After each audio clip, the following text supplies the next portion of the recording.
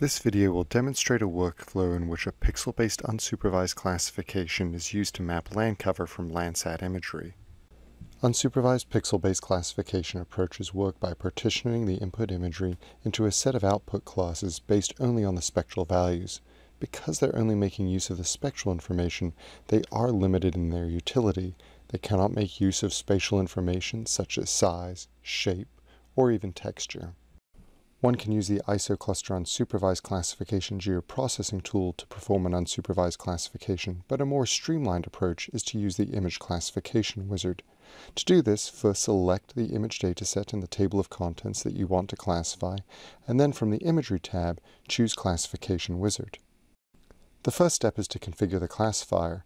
Under Classification Method, I'm choosing Unsupervised, and for the classification type, I'm going to use a pixel-based.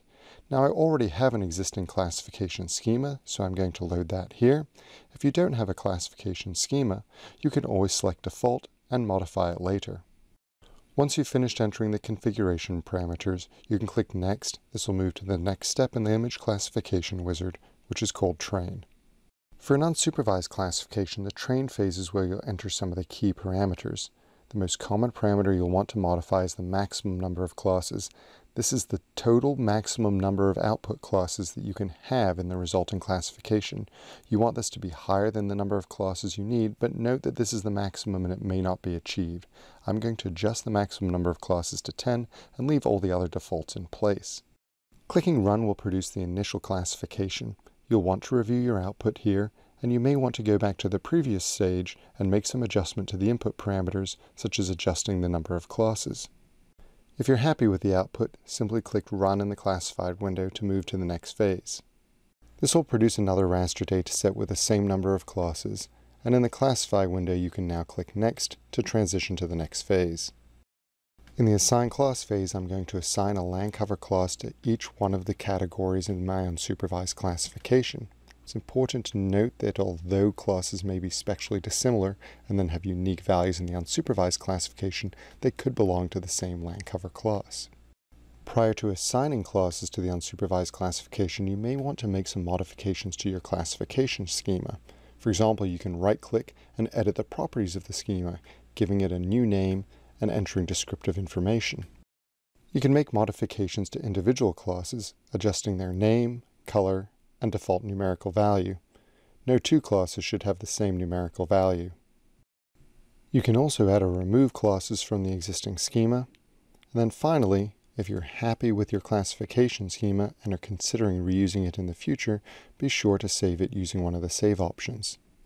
Assigning the appropriate land cover class to each one of your unsupervised categories may take some time, You'll want to compare your unsupervised classification to at least your input imagery and perhaps even to some other reference data that you may have access to. To associate each land cover class with its corresponding unsupervised category, you'll want to select the class in the Assign Class dialog, click on the Assign Class button, and then click on a pixel belonging to that class in the unsupervised classification. The unsupervised class assignment information is updated in both the Assign Class dialog and in the table of contents. Clicking on a class in the Assign Class table will highlight that particular class in the unclassified raster, helping you understand what pixels belong to that particular category. As was mentioned earlier, one or more unsupervised categories could have the same land cover class. You'll want to continue this process of associating land cover classes with unsupervised categories until all of your unsupervised categories have an associated land cover class. As I'm working with Landsat data, which is at an angle, I even have a background category that I need to consider for my classification. Once you've completed the class association process, you can click Next to move to the reclassifier stage.